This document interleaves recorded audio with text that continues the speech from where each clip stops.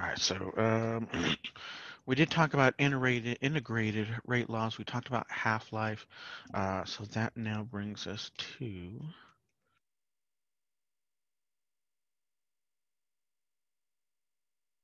uh, collision theory. so collision theory, there's there's no surprise to you guys that uh, atoms, molecules, ions, they they all collide before they react. Right? They all collide before they react with each other. Uh, but there's a kind of a few things to note regarding as to how they collide, the, the rate at which they collide, the orientation at which they collide, how much energy have they have when they collide. So the rate of reaction, that's clear. They, my, my, students know my writing. We're good. Nah, good. My wife's complaining. She's looking at my writing. She says it's chicken scratch, but you guys get it. You guys get it. So it's no, it's fine. Uh, so the rate of reaction is proportional to the reactant collisions and that kind of makes sense the, how fast we make the product is directly related as to uh, how fast um, the reactants collide, right? So the rate of reaction is proportional to the rate of collisions, right? And I should put reactant collisions. The rate of reactant collisions. so we can say uh, reaction rate is proportional to the number of collisions collisions of atoms, molecules, ions over some amount of time, right?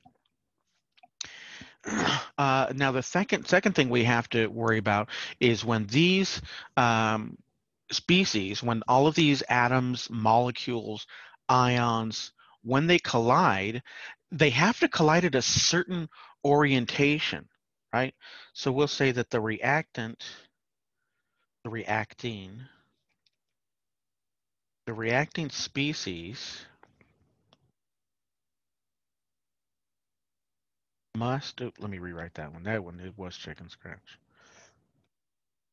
Must collide in an orientation. In an orientation that allows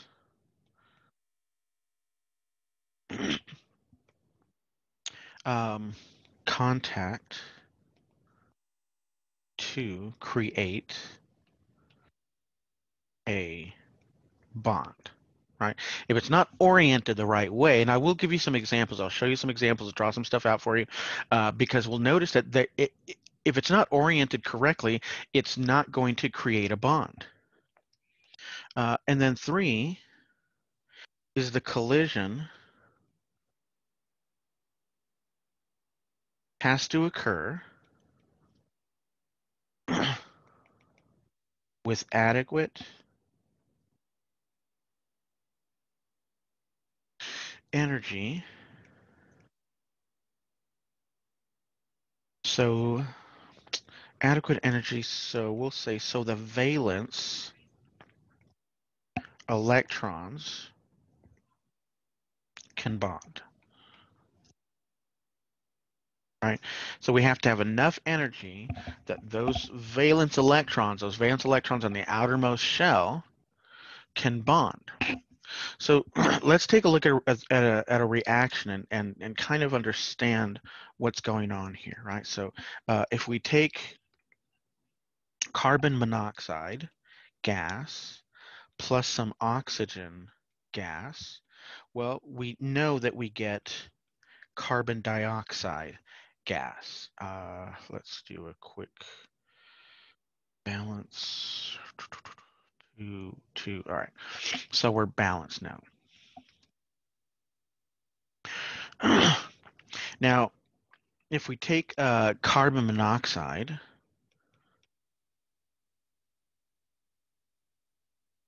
uh, plus some oxygen.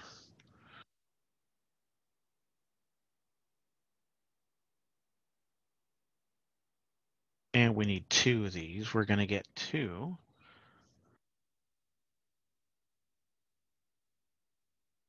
And uh, eventually I'm going to stop putting in these. I, don't think I'm going to put these, uh, the rest of these electrons in for the up for the Lewis structures. I'm just going to go with the bonds, and, and you guys should understand that there's there's are lone pair electrons out there, but I'm I only wrote them for this example. I'm not going to do them for the rest. So when we look at these reactants, uh, we go to to rule number two that we just kind of talked about, right? The reacting species must collide in an orientation that allows contact to create a bond. So there's two ways that this can orient, right? We can have carbon monoxide. Let me put this in a different, we can have carbon monoxide come in and then we can have some oxygen come in. but when they when they're oriented this way, well, uh, oxygen isn't really going to bond with another oxygen like this. So it, it's oriented the wrong way. So what happens here is we're not going to see a reaction if they're oriented this way. Right? Uh, but if we spin things around a little bit and we say, all right, well, here's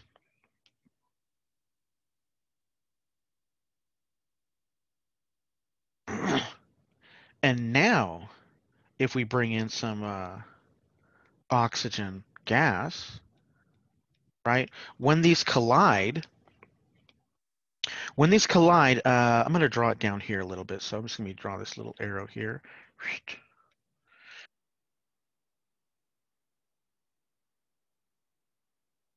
Ah, Wrong way.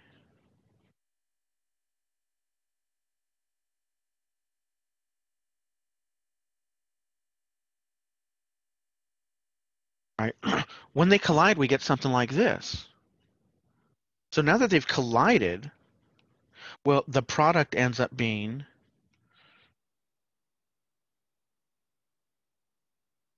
less, plus this loose oxygen over here, right? This bond gets severed right here, uh, and we get some carbon dioxide, plus we get some oxygen right? Plus we get some oxygen. So you'll see here that that it does have, if we don't orient these, or, when, if they're not oriented correctly, we're simply not going to get a reaction uh, to make the product that we need. Is that because carbon can only be, can, like, it only has four bonds and then oxygen too? That's why the one on the top doesn't give us a reaction?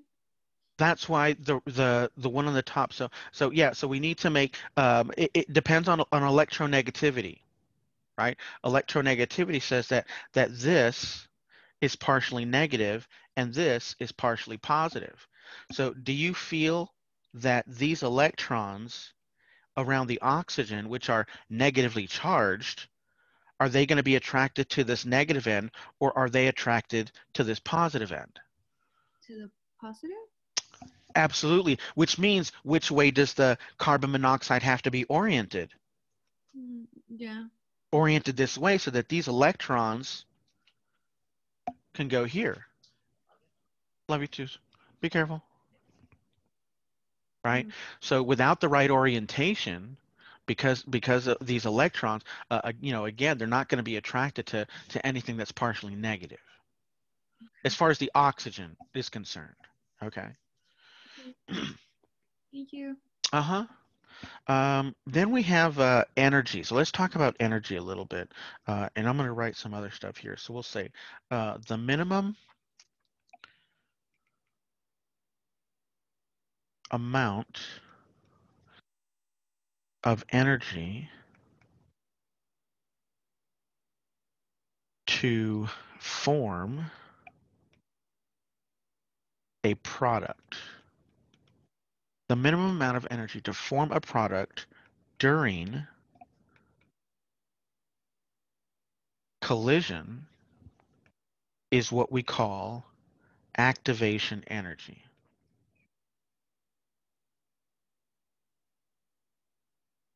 activation energy. Uh, and we use this capital E with a small a here.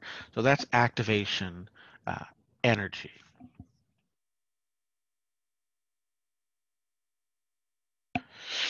So for a reaction, we'll say A plus B, and we get C plus D.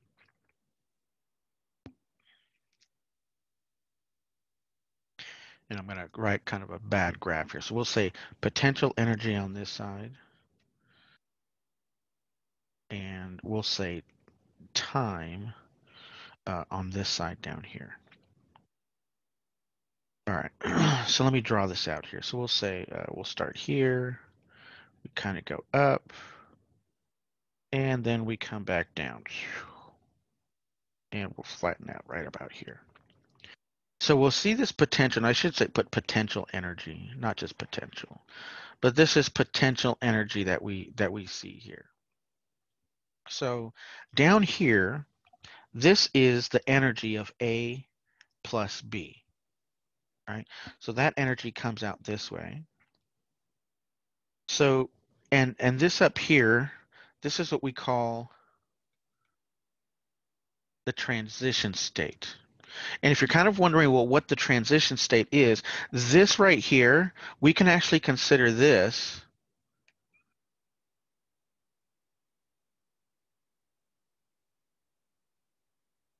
we can actually consider that the transition state, right? It's not the final product. Uh, it's not the reactants because now they have a bond, right? So, so this is kind of our transition state before we get to the product. So that that'll be our transition state right right here at the top of that. Right? And this is where our activation energy is. So activation energy is the energy required to get to that transition state. And then down below down here, this is our C plus D, right? And that has a different energy itself. Right? So the difference here, so this energy down here, this is change in enthalpy. So why we need to introduce change in enthalpy is that if we if we were to reverse this reaction and we were to say C plus D goes to A plus B, well, the reverse reaction,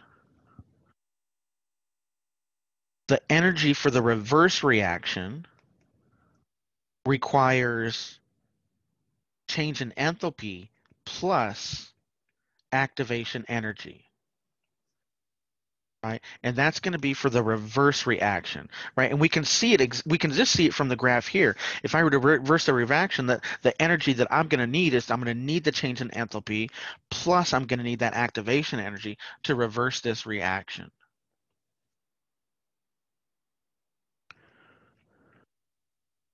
what did you forget? You good? Oh. All right, love you too. So um, in order to um, combine uh, activation energy and rate, we're going to use what we call Arrhenius equation, the Arrhenius equation. So Arrhenius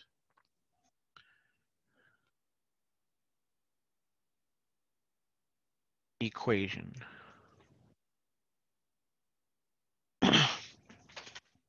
So the Arrhenius equation, we'll put some information about that, uh, not just Arrhenius equation, but uh, this is uh, this uh, relates activation energy and the rate constant. Right.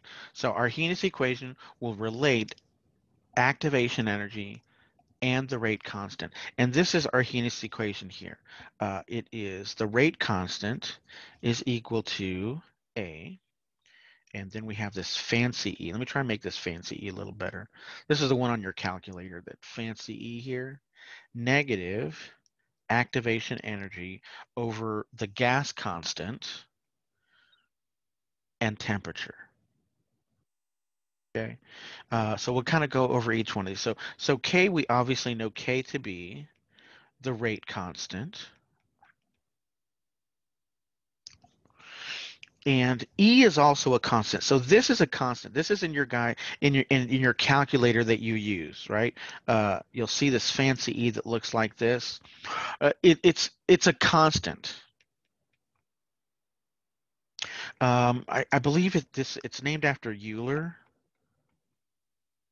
Uh, I think it's ER. I don't think it's AR. So this is uh, Euler's constant. Um, but but we have used this before. It's not this E is nothing unfamiliar, right? Uh, but if we're going to give it a name, we're we just it's just Euler's constant E, uh, and then it's like 2.718 something. I, I, don't even remember all the values there, uh, but it is a, a constant value. And then we have R, which is our gas constant uh, we use 8.314 uh, joules per mole. Uh, so that'll be our gas constant, and T is temperature in Kelvin. So temperature in Kelvin. And A,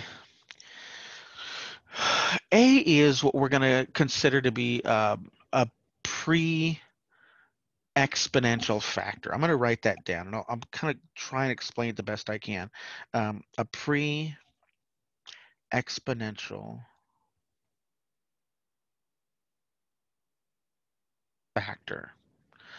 And we can kind of think about this. Let's see if I can come up with it. Uh, so think of it as, think of it as as frequency and probability of the collisions right? So we know the ions are colliding and the, the molecules are colliding, uh, the uh, atoms are colliding, and A is the frequency and the probability of those collisions. So let me just write that down here. So we'll, uh, I'll say, uh, think of A, that a little nicer. Yeah, absolutely, sweetie. Think of A uh, as frequency and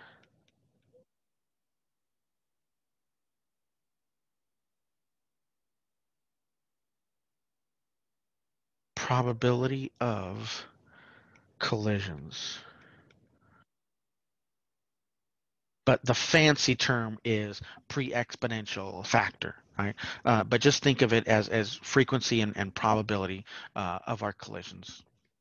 So when we're when we're looking at um, when we're looking at activation energy, um, and not not potential energy now because because this graph up here this was potential energy versus time and we kind of have an understanding of the reaction. So we're, we're just going to deal with with just the activation energy for right now which is a, a different type of graph. So here we're going to have um, we'll say this is the number of molecules or the number of ions uh, or the number of atoms, right? And we'll put kinetic energy down here.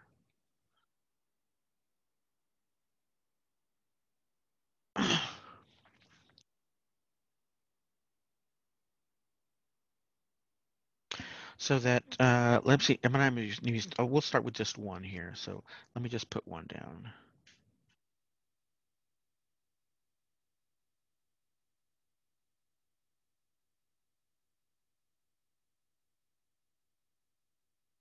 All right.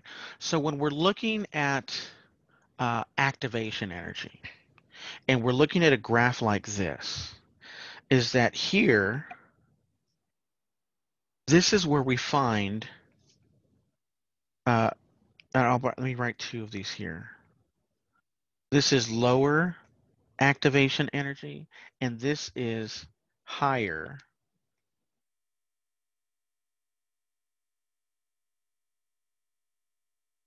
activation energy. I know it seems a little bit odd, like, oh, why would it be higher and lower if if this one is is up here and that one's down here? Alex, you're reversed, or you know, maybe you need some more sleep, right? No, th this is this is how how it is, right? So uh, if we're looking at a graph of the number of molecules versus the kinetic energy, our lower activation energy, we're going to see um, as higher up here, right? Versus down here. Now, uh, activation energy,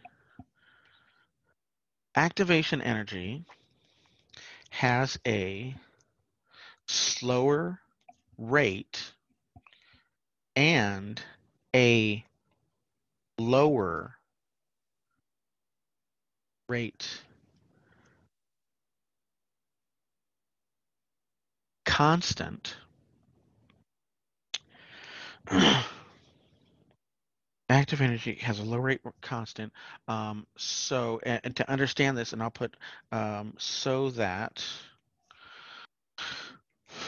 the larger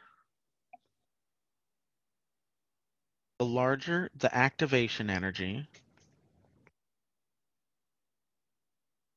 the smaller uh, and this this comes from uh, and I'll write it up here. Let me see. It is um,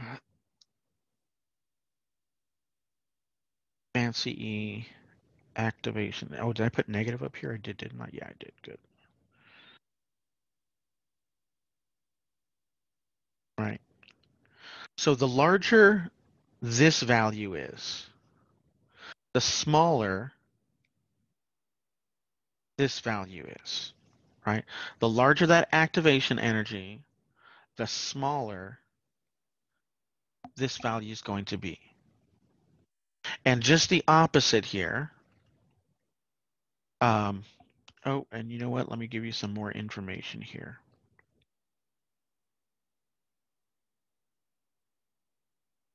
These are from my notes here. Uh, so this reflects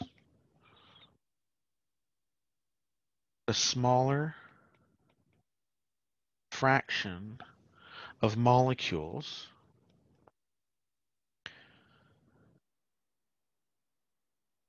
with energy um, with, oh, let's just say with enough energy.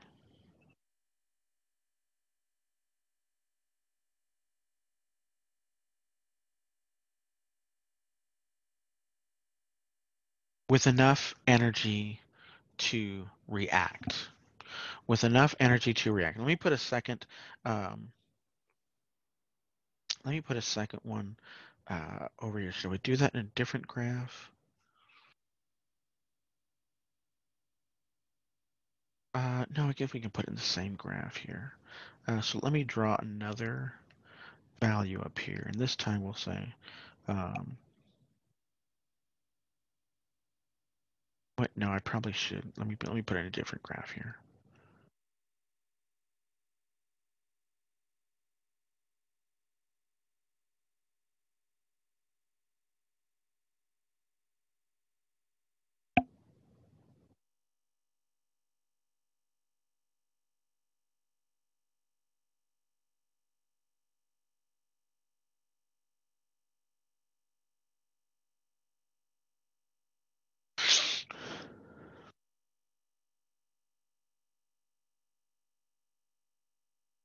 Right?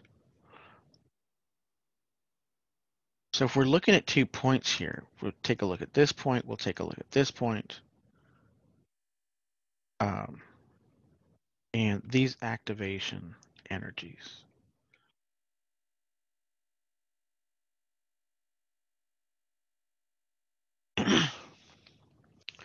um, is that the one with the lower activation energy, right? And let's let's remember activation energy here for a minute here, right? Um, the lower we can get the activation energy, the faster that reaction is going to take place, right? The lower the react the, that reaction energy, the the faster it's going to take place, right?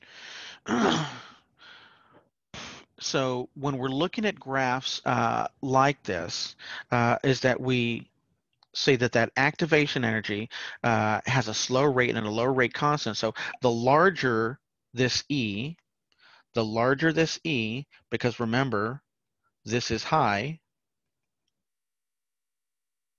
this is low, right? the larger the AE, the smaller this is and the slower rate this is. So this,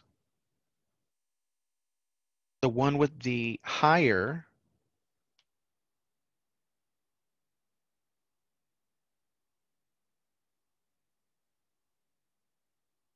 Oh, wrong end over here. This one, uh, I just did the wrong one. I'll do it in red still, right? This here, if we're looking at it, has a higher activation energy, a larger activation energy, the slower the, rate. So this is going to be slower than this one over here right? because it has a higher activation energy, a larger activation energy. And then the reverse, you know, seems to, to stand. So the smaller the activation energy, the larger this value is, right? And let's take a look at our Arrhenius equation here. When we're looking at those, uh, the larger this value is, the larger the rate constant is. And the larger the rate constant is, the faster that reaction occurs. So looking at this graph here, right, is that we want a low activation energy. Low activation energy means a larger, means that this is going to be larger, right? This is going to be, makes this larger. Uh, and the slower the rate, the larger this activation energy, the smaller this is. And then we go back to our Arrhenius equation. Uh, if this is small, it's going to make this small, the constant, the rate constant small, uh, smaller constant, rate constant equals a slower reaction.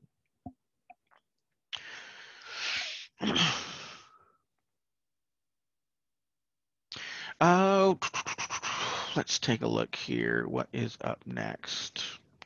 Uh, another, uh, let me open the book up real quick.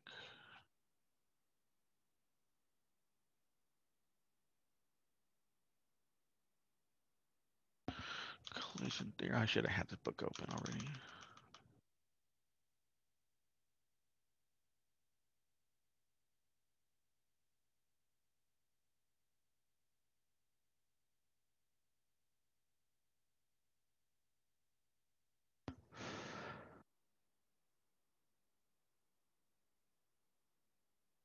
Okay.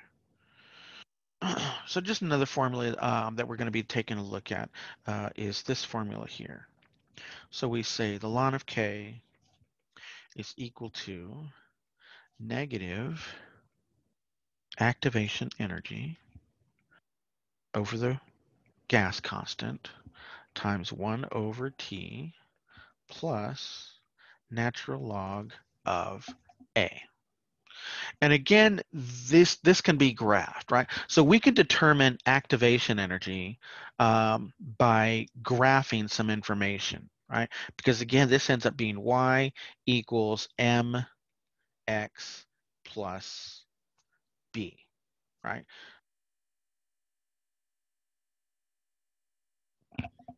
Is that here we can plot 1 over t, we can plot ln over, right, the, the natural log of k, and we can come out with uh, some kind of, of plot here uh, for that. So you're going to be given, um, I think in the, in the homework, you're, you're going to be given these values. You're going to have to make a couple graphs in the homework, which isn't a big deal. Uh, they're going to provide you the tables, you make those graphs. and, you know, the graphs will be, uh, you know, natural log of K uh, versus 1 over t. And the slope here, they kind of want to take a look at the slope.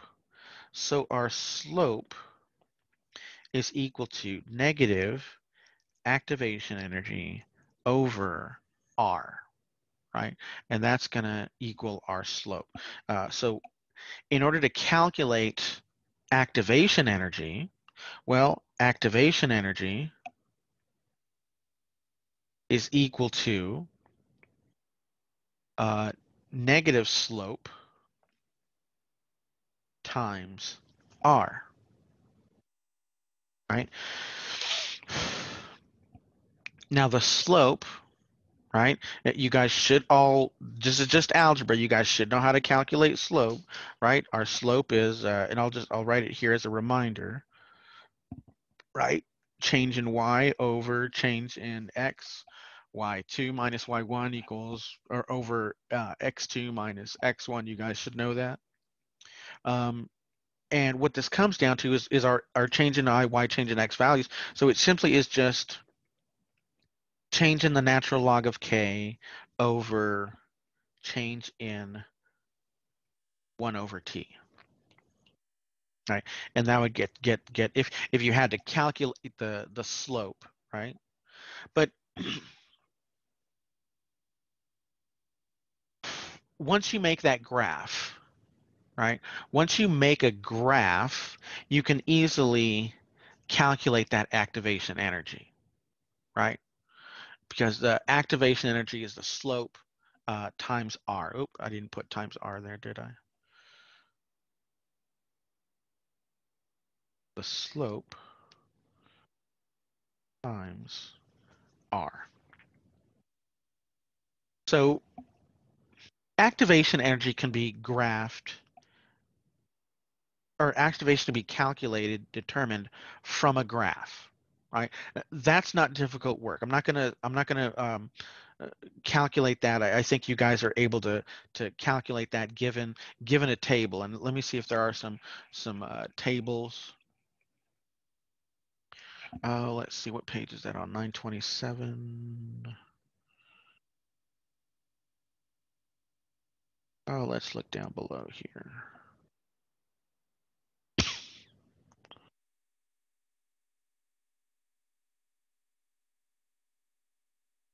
right? Here's a table here, right? If you're given this, you guys know how to do one over one divided by t, right? One divided by 555, one divided by 575. If you're doing, they give you the k value. So if you're given this this uh, table here, uh, I have no doubt that you guys can calculate one over t and the natural log of k right? Uh, that's that's not really chemistry. That's just a, a, little bit of math. And then once you have those values, uh, I'm sure that you guys can plot that out in a graph to make the graph. And then you can simply just calculate the slope. And, and again, that's just simply uh, algebra. Uh, your homework is going to have you guys do that. You'll come up with that. And then again, here it is, right? There's your slope and you guys calculate that out. Uh, not not too difficult there. So I don't believe that I'm going to be calculating that. Uh, but there is another way to do it without graphing. This is this is what I want you guys to to. This is why I want to show you. I want to skip the graphing part because uh, anybody you know uh, taking algebra can can make that graph. So uh, we're just going to use a quick and dirty method. So uh, here is the quick and the quick and dirty method. So the quick and dirty method is, is we just use this formula here. We say activation energy is equal to negative rate constant times, we'll say natural log of K2 minus natural log of K1 over 1 over T2 minus 1 over T1. Right. So using this method, uh, we don't have to make a graph. We're just going to get these uh, two different points here uh, for uh, the rate constant, two different points for uh, temperature, uh, and we can simply just calculate it this way. So let's try let's try working on one here. We'll say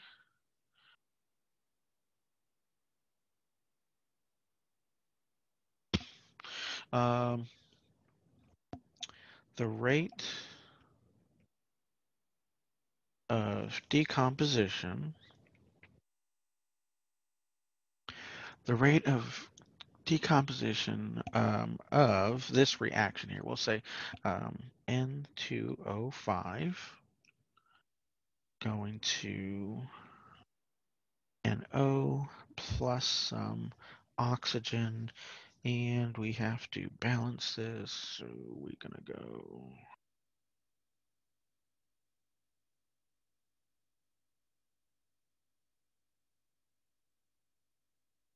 All right, so we have this balanced reaction here. And then we'll say uh, in gas phase, the rate of decomposition of this reaction in the gas phase is 1.66 liters per mole per second at 650 Kelvin.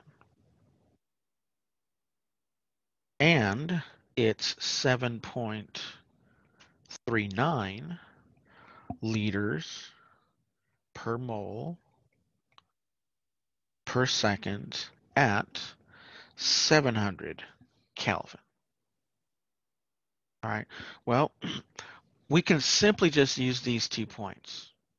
All right, we can simply just use these two points and we're going to use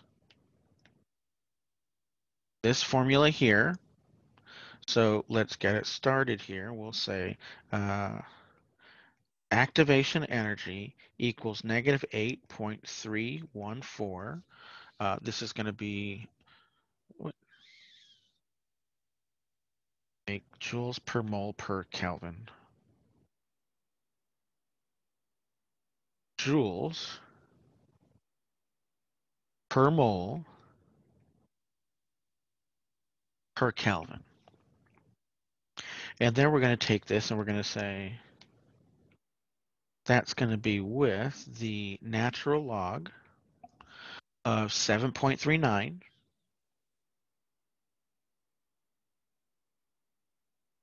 minus the natural log of 1.66 over 1 over 700 Kelvin minus 1 over 650 Kelvin.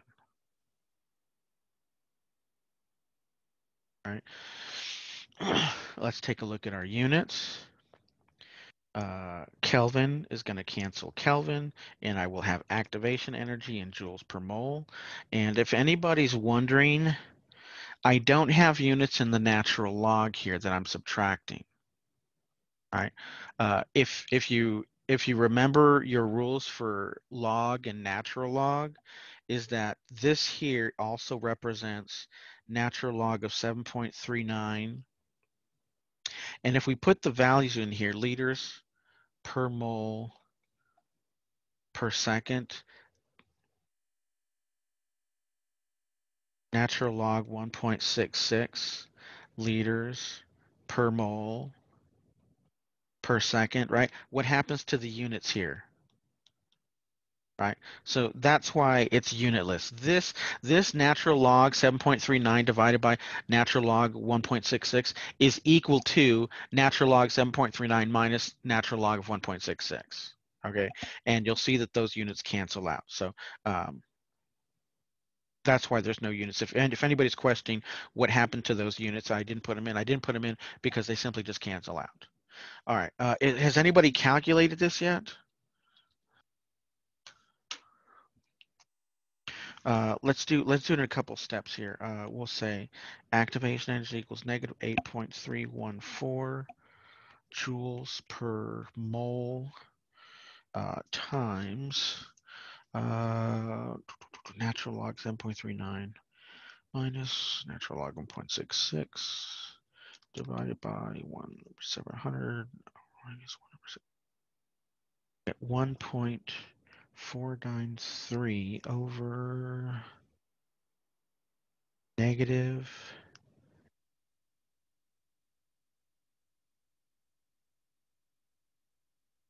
all right and then we're going to go ahead and finish this and we'll say activation energy equals uh, 1, 1, 2.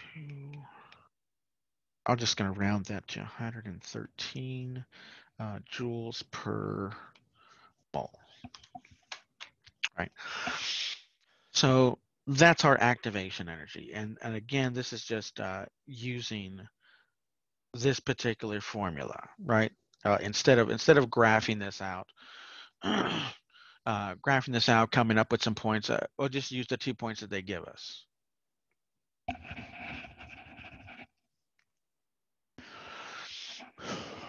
So um, all these all these reactions, if we go back to, uh, does anybody need this? I don't know if, if you guys are writing down. You got if I can scroll away from this. I don't know if everybody has it or not. Does anybody still need it, or can I scroll up?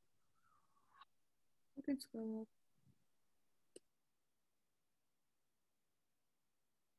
If we go back to one of these this one of these reactions here that we talked about earlier, and we're talking about orientation, and we oriented this, and this is this was our product. Our product was the carbon dioxide, but we still had this one atom of oxygen, right? And that's not what we see in the reaction um, up here, right? The reaction says we have two carbon monoxide plus some oxygen, we get two CO2 plus. It doesn't mention anything about the extra oxygen here. So this is where we're going to get into, we're, this is going to be your introduction to reaction mechanisms, right? So reaction mechanisms.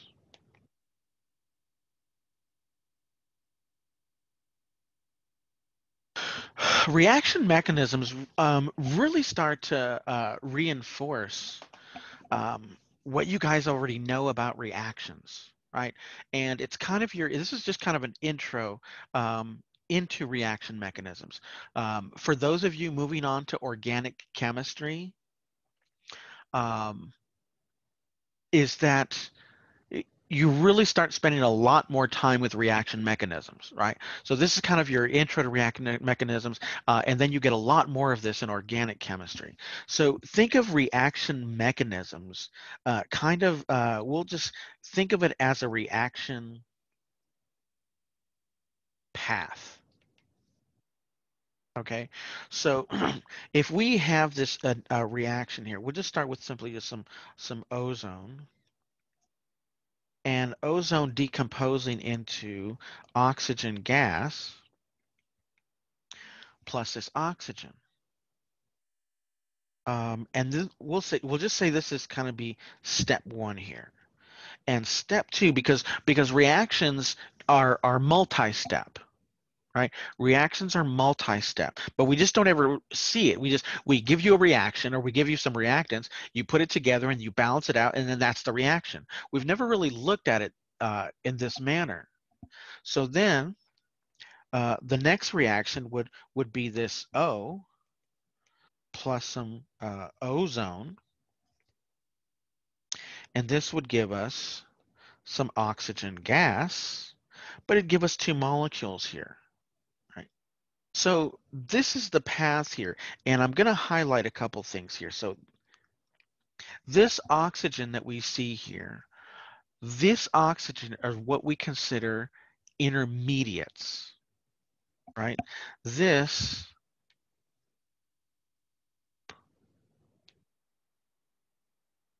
is what we're going to consider an intermediate.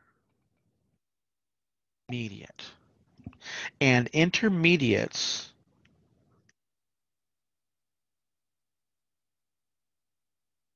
are produced in one step and consumed in another step right? So an intermediate is produced in one step And here it is. We can see that it's produced in this step and it's consumed in this step. Right? Produced in one step uh, and consumed uh, in another step.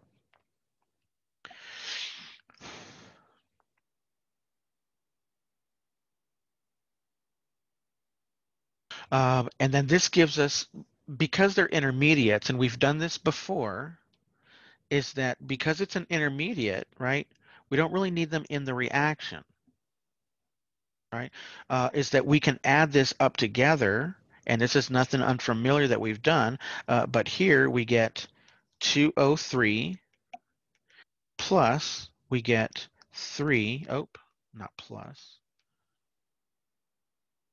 we get 302. But we have a little bit better understanding of, of how this uh, how this works. Uh, we're going to take a look at uh, a few different um, reaction mechanisms. Uh, so initially we have what's called a unimolecular reaction.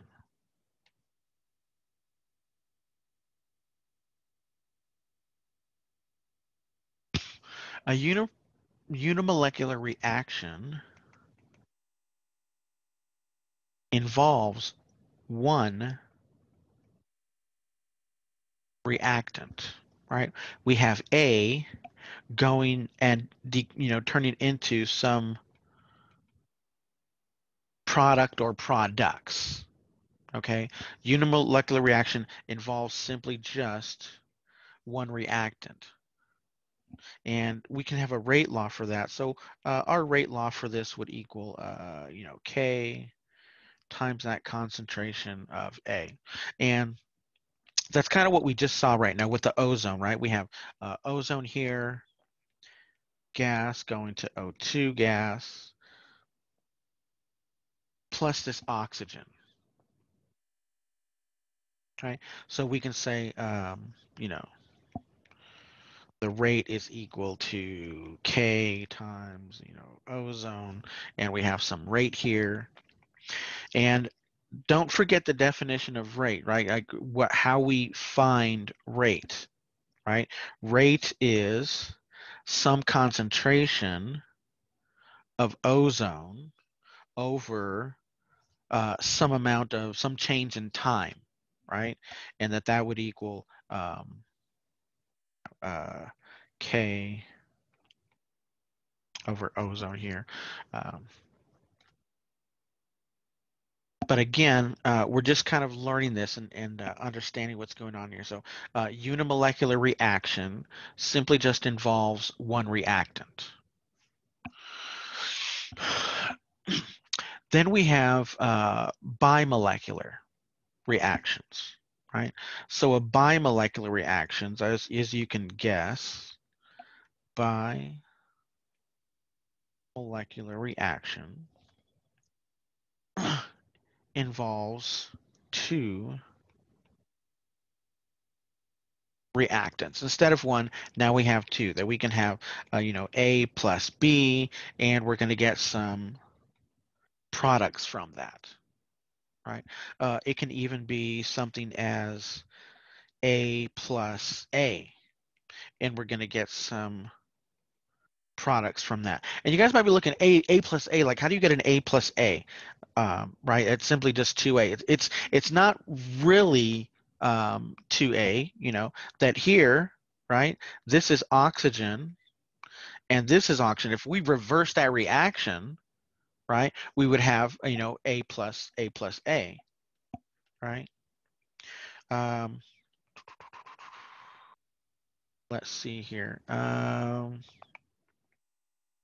let's actually look at one here, uh, just so we can see what's going on here. Yeah, the bi the the the termolecular and the bimolecular uh, Let's take a look here. We'll use this example here.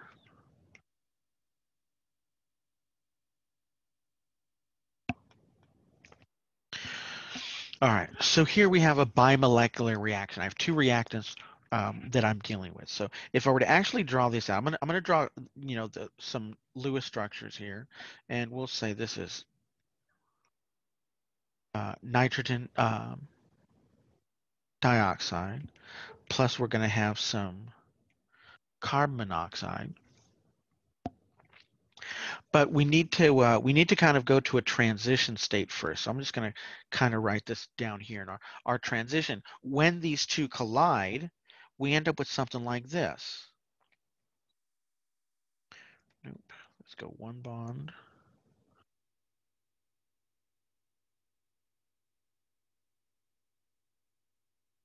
We end up something like this, right? And then from here, right? We can break that bond and, and that's where we get our NO, plus we're going to get some CO2.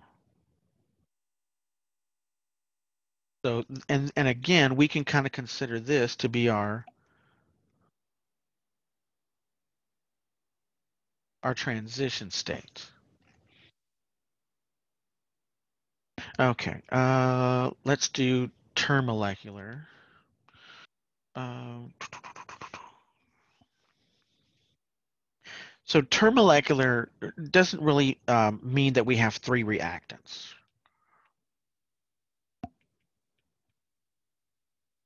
Uh, termolecular, we can consider a reaction like this.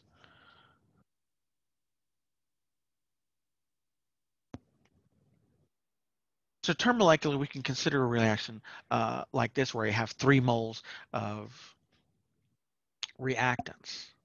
Right. Uh, and when we do this, uh, let's see. Yeah, this balance. Um, we can even, and it doesn't necessarily need to be oxygen, uh, is that we can do the same thing here. We can say uh, 2NO uh, plus some Cl2, and we're going to get 2NOC, um, 2NOCl. Two there. Two oxygens, two oxygens. Now we're good. Okay, I just want to make sure it was balanced is all. so when we're looking at this, let's take a look at the, the bottom one here, uh, where we're going to have some, um, where should I put the oxygen? I'll put the oxygen over here because it's more, it's partially positive. So with that, well, then we'll put plus some Cl, right? And what are we going to get from that? Uh, what, what we get from this is once we put those together, we get oxygen, nitrogen to Cl bonded to another Cl. And uh, let's keep going with this because we, we need to get uh, 2NOCl.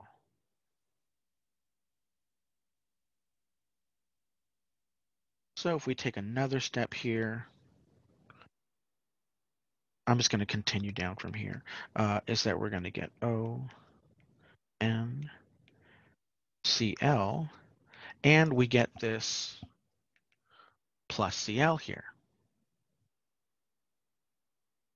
Um, but we don't, and, and I'm going to kind of show you the rest of this mechanism here, right? Uh, because we don't want just a plus Cl. This, this here, this is what we consider just a radical because because we don't ever just see Cl by itself, right? We see Cl as a diatomic. It's always, you know, chlorine, you know, Br2, F2, O2, N2, uh, you know, Cl2, I2. So this is what we consider a radical. And we can't just, radicals are short-lived. They don't last very long. So we actually are just going to continue with this.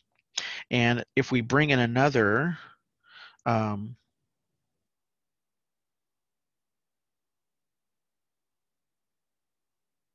right? If we bring in another one, we're just going to kind of continue the reaction here, and we get from that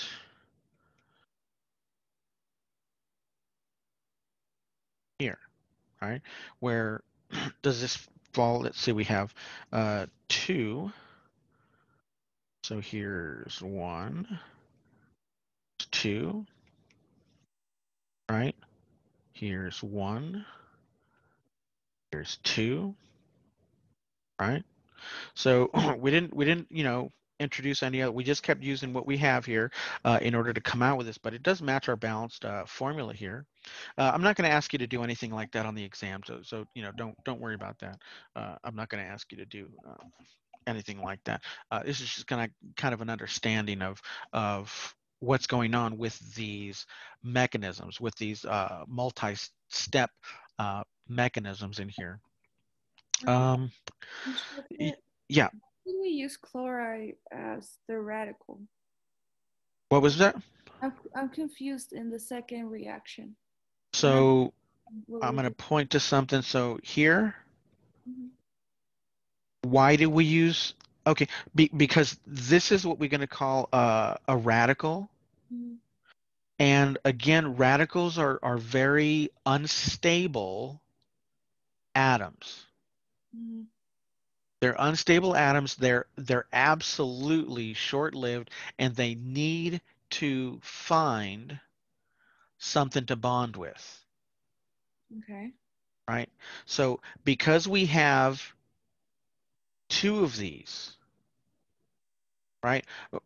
One of the chlorine has already bonded to one of them right? Mm-hmm. And and that's that's going to be so we've already we've already accounted for for one of these.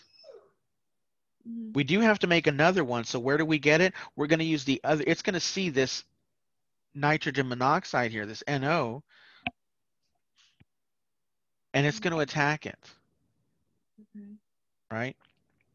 So it's going to attack it and up we end up with a second NOCl because this this Cl by itself just can't it just can't exist by itself. Yeah. Right. Uh, so we can even go back to one of our other ones that are that are unfinished. Right. that we we had this up here. Right. This would be this would be considered a radical because we don't ever see oxygen by itself like this. That oxygen is looking for something else. So it finds ozone and it breaks ozone up into just some oxygen. Okay. All right.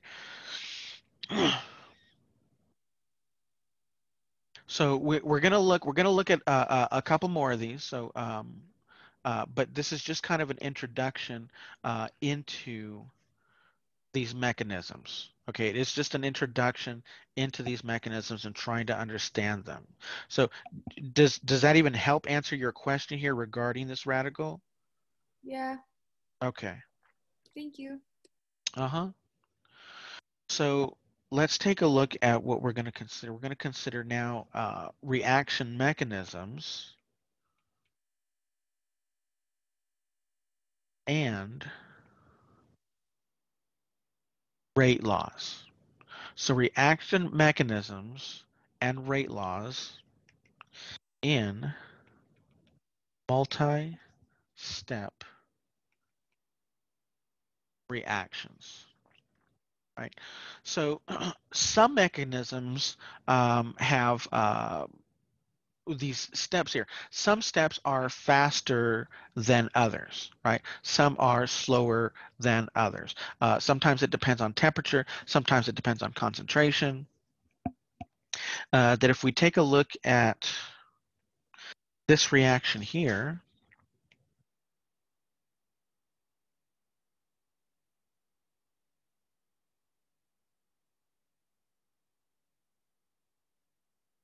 If we take a look at this reaction here, uh, we can um, increase the rate or decrease the rate of the nitrogen dioxide, right? Uh, is that above 225 degrees Celsius, uh, it's a second order reaction that the rate here, and I'm talking about overall rate, so our overall rate uh, is K and we'll put NO2 times CO. Each one of them is first order. Uh, the overall rate is second order. And this is above 225 degrees Celsius. But below 225 degrees Celsius. Uh, the rate is just dependent on the concentration of NO2 second order. Uh, independent from any concentration of carbon monoxide.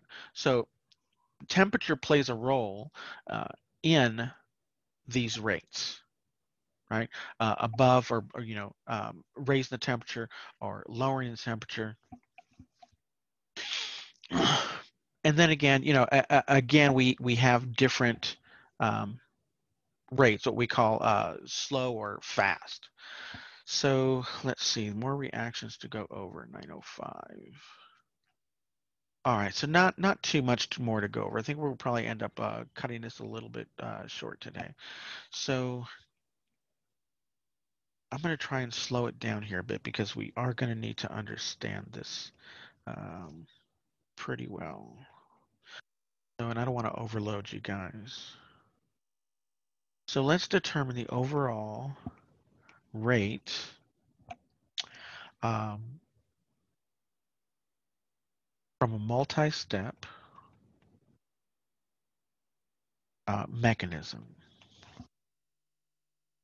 All right, so here we're going to put chlorine plus some ozone.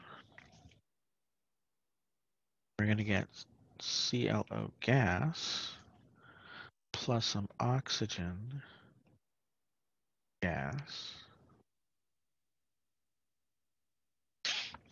And then we're going to get ClO gas some oxygen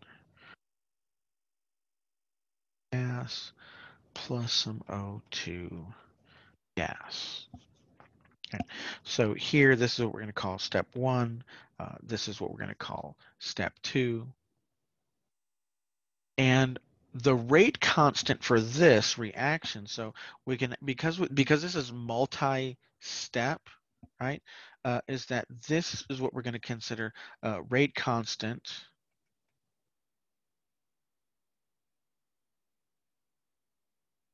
K1, K sub 1 for the first step, right? And then we would just follow this with this is going to be rate constant K sub 2. So if rate constant K sub 1, rate constant K sub 2. We're here, we're looking at these here, right? So this is going to be K sub 1. This is going to be K sub 2. And if we were looking at the reverse reaction, is that we would actually consider this to be K sub minus 1, right? The reverse reaction, K sub minus 2, right? So minus 2 are just reverse reactions that we're going to see here but we have to determine an overall rate, right? So it's going to be something similar to what we've already seen. Uh, let's see, we did one earlier here, right? Where we're here, we have these two steps, and then we have what's considered an, an overall step.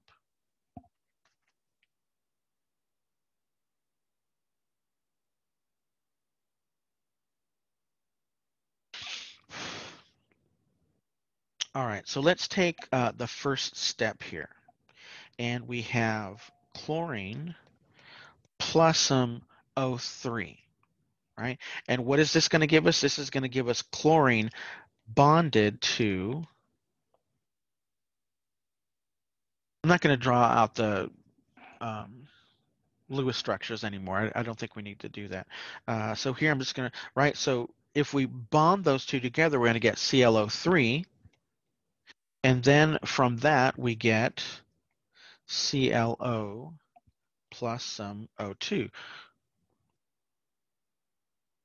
Um, if we take the next step, we have, uh, what is it, ClO plus O.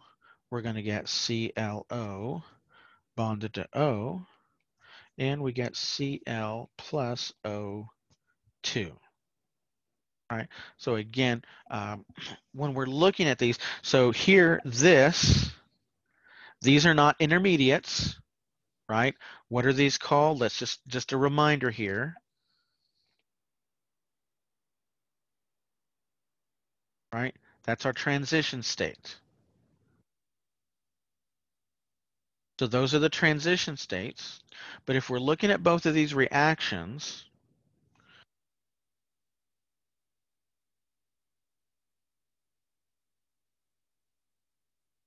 those are intermediates, right? And what's an intermediate? It's produced in one step, consumed in the next step, right? An intermediate produced in one step, consumed in another step.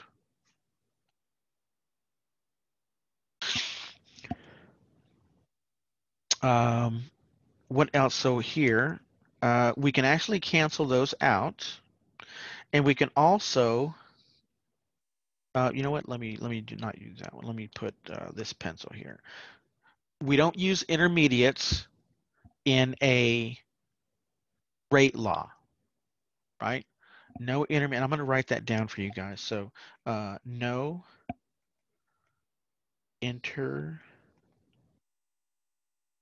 intermediates or I'm going to put bystanders.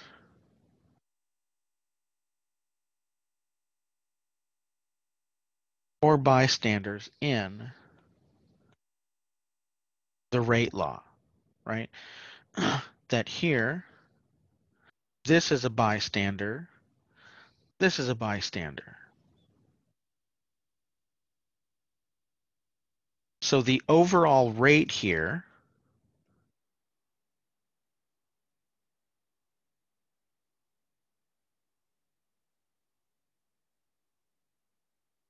the overall rate here would be O3 plus O, and we get 2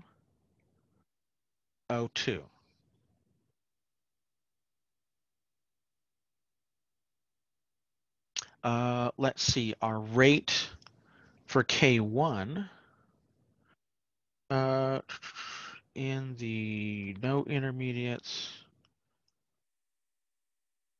Oh, I think I wrote this wrong. Here, let's Yeah. no intermediates in the rate law. There we go. The overall reaction. The overall reaction does not use the uh, bystanders. Sorry about that. Uh, but for our rate law, we just don't put the intermediates in the rate law. So here, uh, we're going to have, actually, I shouldn't have even done the overall rate law. Let me, let me, let me, let's write the rate for this one. So we'll put rate, I'll put it up here.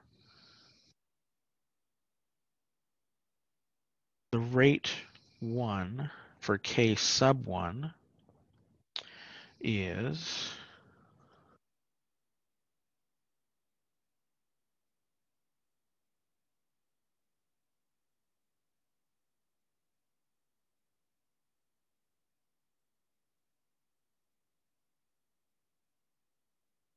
seen.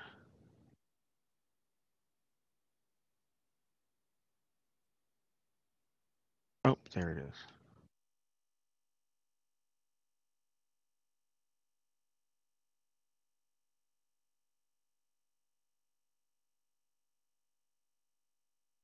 And this is going to be rate sub two.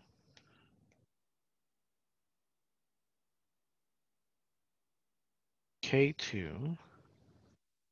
Uh, this is is going to be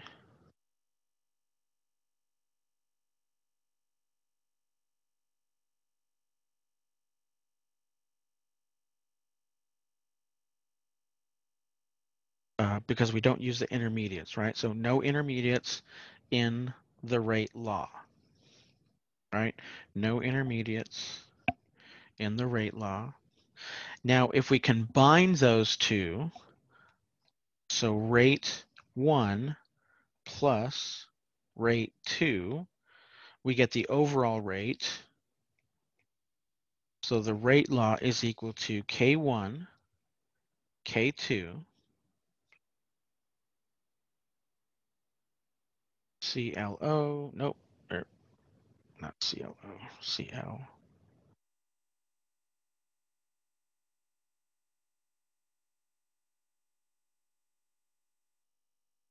There we go.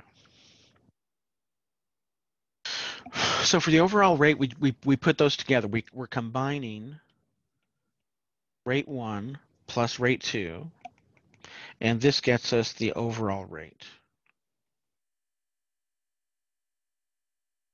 Where we see K1, K2, CL, O3, O, CL, O3, O, and that gets us our overall rate. So um, this is our overall reaction. and the overall reaction, right? No intermediates, no bystanders, right? Because because they simply just cancel each other out. Um, that's when we would cancel these out. And then we come out with our overall reaction. So difference between overall reaction, overall rate there. Uh, sorry about the little confusion. Uh, I would probably expect something similar to this uh, on the exam, um, but I'm I'm certain there's going to be a question, uh, probably a short answer question regarding uh, the, something very similar to this. Uh, it won't be this, but it will be something similar to this, uh, where I'm going to have you figure out um, the uh, transition state right? I will have you determine the transition state uh, and the overall rate and the overall reaction. So, uh, you know, that and that's going to be a, a, three or four part question uh, determining each of those steps, right? Uh, and I think we'll probably just end it there. I don't think we're going to go any further. Uh, I think that's enough information for today.